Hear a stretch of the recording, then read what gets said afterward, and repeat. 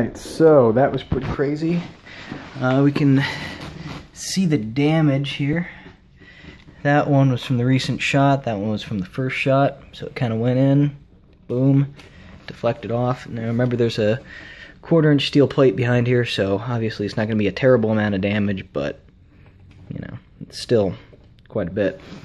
Um, yeah, here's a projectile. Uh, as you can see, a lot of plasma damage. This thing got reduced in size by about a millimeter. Um, just that's how much material was taken off and shot out the end.